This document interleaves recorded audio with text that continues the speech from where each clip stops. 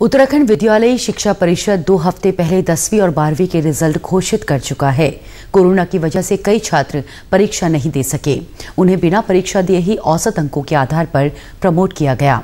लेकिन जो छात्र छात्रा अपने नंबरों से संतुष्ट नहीं है, वे आवेदन पत्र भरकर 29 अगस्त तक अपने विद्यालय में जमा कर सकते हैं। आवेदन प्रक्रिया शुरू कर दी गई है। छात्र छात्राओं को इस आशय का एक शपथ पत्र देना होगा कि वे अपने औसत अंकों से संतुष्ट नहीं है और परीक्षा देना चाहते हैं।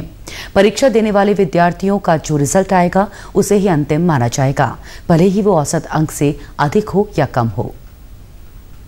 शासनादेश में ये एक प्रोविज़न कर दिया गया था कि अगर वो औसत अंकों से संतुष्ट नहीं है तो परीक्षाफल घोषित होने के एक माह के अंदर अप्लाई कर सकते हैं। तो हम लोगों ने एक विज्ञप्ति निकाल रखी है, उसकी उनतीस अगस्त लास्ट डेट है।